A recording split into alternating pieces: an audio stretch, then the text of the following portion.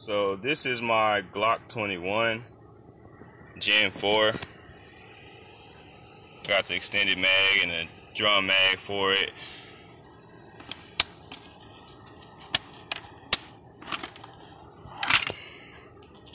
So this is the gun. I bought it used, but it looks very new. It looks brand new.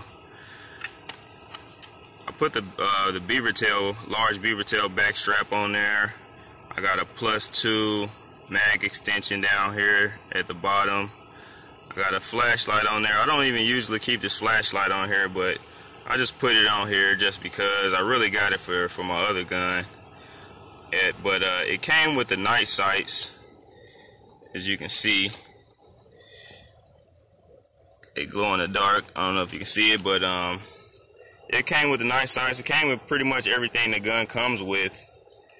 And uh, I also got these extended mags. I bought a few standard mags and I bought uh, these extended mags. But these extensions and these extended mags and um, drums, they don't work so well. Yeah, they don't they don't really work. So I ordered some graphite today just to see if that'd help them out. But they really stiff and uh, they just don't feed reliably.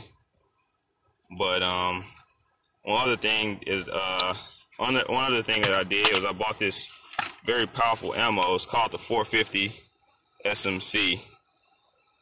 And uh, I also bought this ammo called uh, Equalizer. Basically two projectiles in one. So this one is the 450, which is the most powerful. It's supposed to be the most powerful 45 ACP ammunition that you can buy. Looks like a bowl or something, the way it's like a scoop in it. And it looks very dangerous, very deadly all guns are dangerous.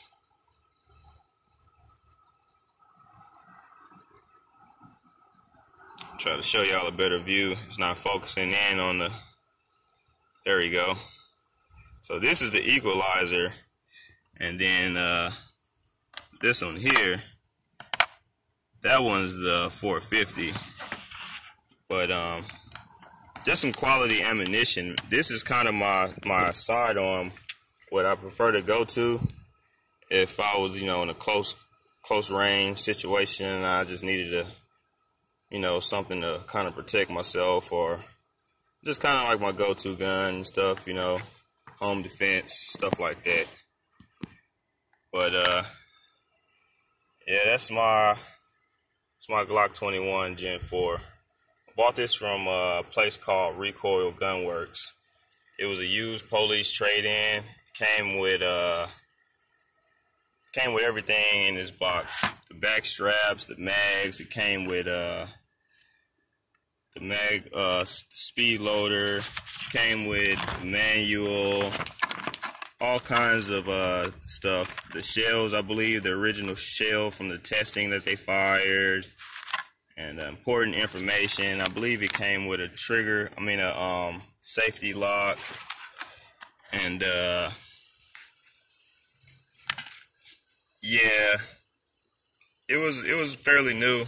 It was supposed to be a used gun, but it was fairly new.